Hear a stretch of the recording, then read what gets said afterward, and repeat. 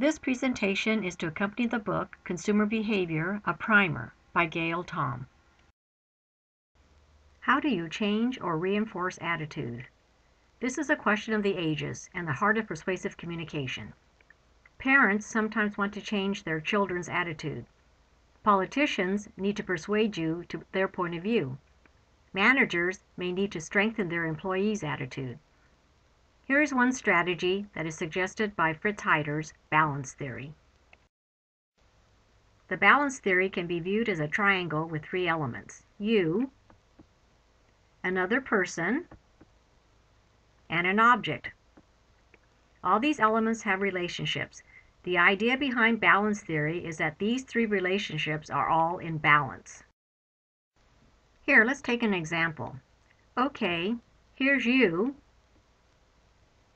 Here's another person, Oprah Winfrey. Here's an object, SlimFast. Let's say you like Oprah.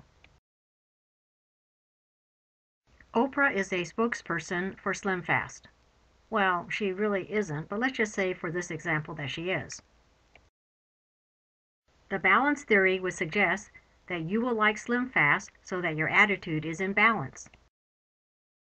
To put a bit of algebra into this, we would say that a positive times a positive times a positive is a positive. All is well, all is in balance. You like Oprah, Oprah likes SlimFast, you like SlimFast.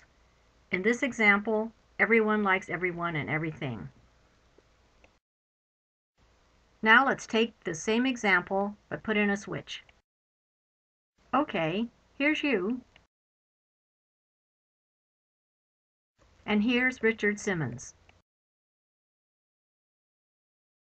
Let's say Richard Simmons is a spokesperson for SlimFast.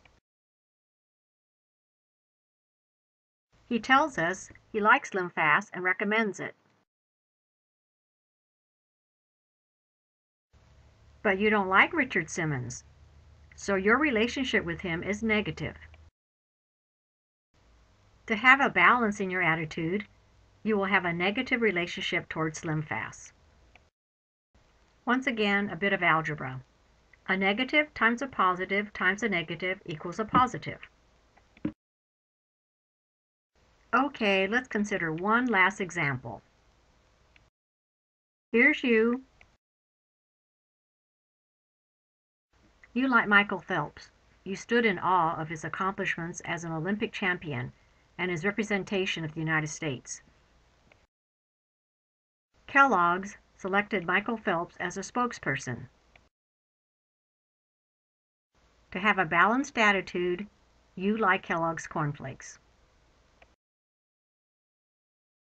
You hear on the news and are so disappointed to learn that Michael Phelps was caught using a bong at a party in South Carolina.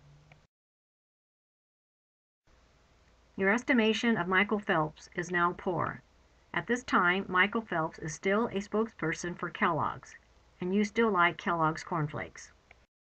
Your attitude is not in balance.